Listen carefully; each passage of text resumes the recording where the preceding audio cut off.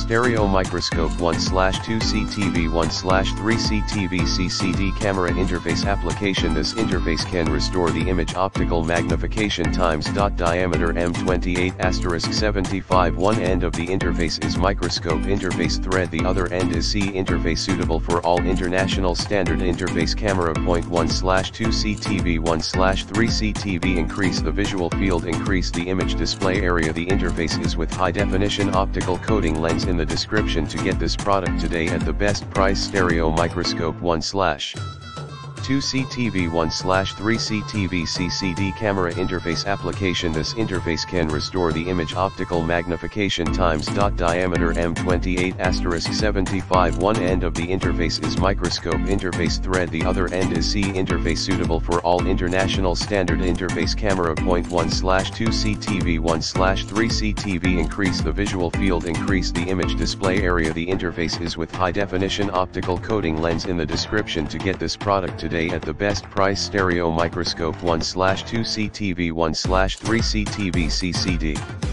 Camera interface application. This interface can restore the image optical magnification times. Dot diameter M28 asterisk 75 One end of the interface is microscope interface. Thread the other end is C interface suitable for all international standard interface. Camera point 1 slash 2 CTV 1 slash 3 CTV increase the visual field. Increase the image display area. The interface is with high definition optical coating lens. In the description to get this product today at the best price. Stereo microscope 1 slash 2 CTV 1 slash 3 CTV CCD camera.